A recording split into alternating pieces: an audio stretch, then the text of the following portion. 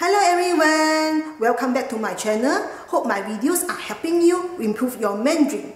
Today, I'm going to teach you Mandarin words about common areas in your home. How to say roof in Mandarin. It is 屋顶,屋顶,屋顶. How about balcony? 阳台,阳台,阳台.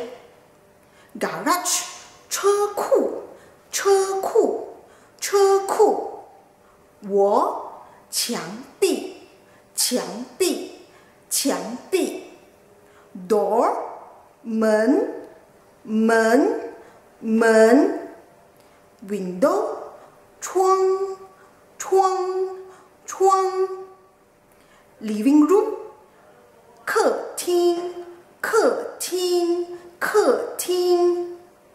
bedroom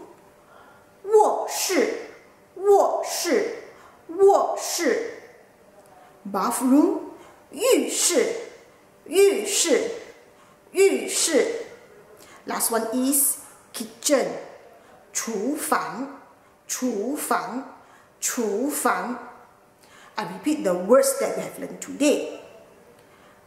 屋顶，阳台。车库、墙壁、 门、窗、客厅、卧室、浴室、厨房。Bye bye everyone. See you next time.